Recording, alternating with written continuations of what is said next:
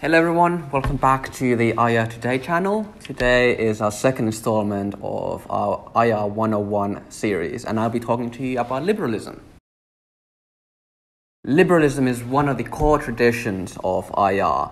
It fundamentally believes in the power of cooperation over power and conflict. It is a theory for both the international and the domestic levels. Uh, in it, constitutional liberal democracies uh, by their nature, according to liberalism, seek forms of peaceful cooperation fueled by rational self interest to achieve prosperity. Uh, because of institutionalization and of the international order which liberalism creates, the need and possibility for war as a central theme of IR dissipates.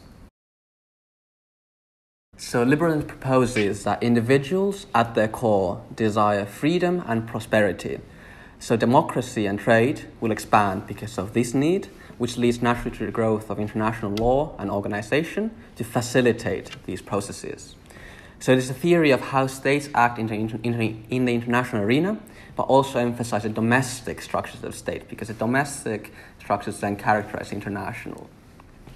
Uh, for there to be a cooperating world, states require to have a stable democratic, democratic government, uh, as they are the most suitable for creating this kind of liberal world order.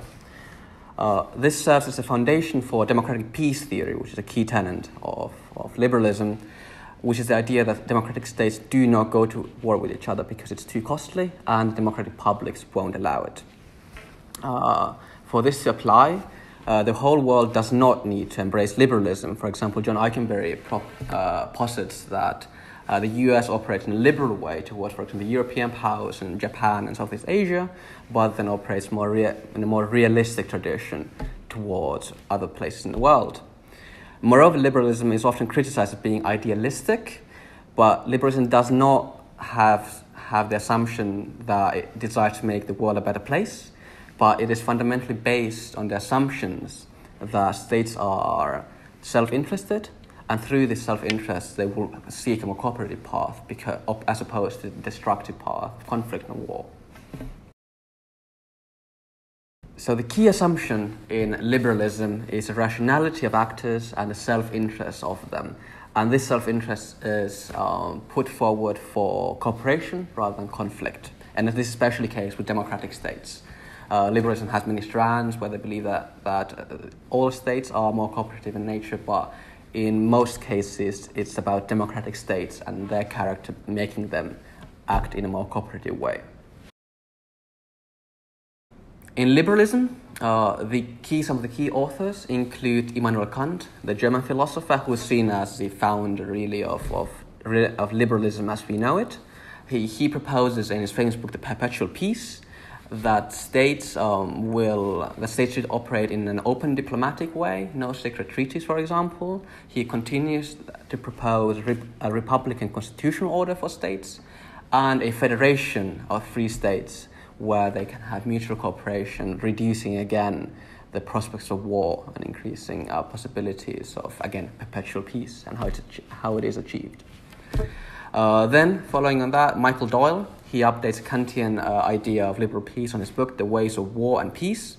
He traces the development of liberalism from a historical perspective and comparing it to realist and Marxist readings of international history.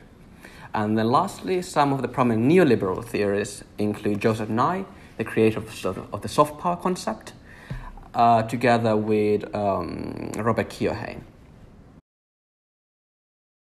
So, for real life examples of liberalism at work, Maybe the most classic example here is the European Union. The continent was torn after two devastating world wars in the early 20th century.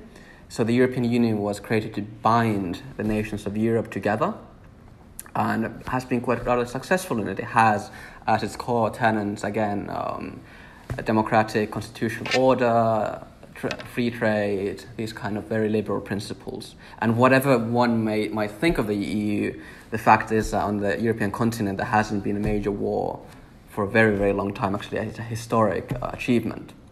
And then more generally, the web of international treaties and organizations uh, are manifest- manifestations of, of liberal principles. Uh, international law governs state practice. The UN was created to encourage state cooperation, and the WTO was created to enhance um, uh, the promotion of uh, international trade, for example. So liberalism is really everywhere you look, look in the world. Anything that, that has to do with interstate relations, there's usually aspects of, of liberalism in that. So the reason why I consider myself as a bit of a liberal in my theoretical outlook is that look, no um, theory is perfect and no theory is all encompassing. But as Ikenberry puts it in, in his text, for example, liberalism in a specific context, for example, in in Western states, in the European Union, in from the UN system wide standpoint, uh, it does provide a rational framework on how, how states interact and what are the key drivers behind state interaction. I believe, for example, that realism provides a too simplistic way of looking at the world, for example, the state of nature. So, and, and liberalism is just much more comprehensive on understanding the, the structures and the motivations that drive states forward and what, what decisions they ultimately make. So, that's my point of view. So, this has been our IR 101 on liberalism. I hope you enjoyed it, and please come back for the next episode.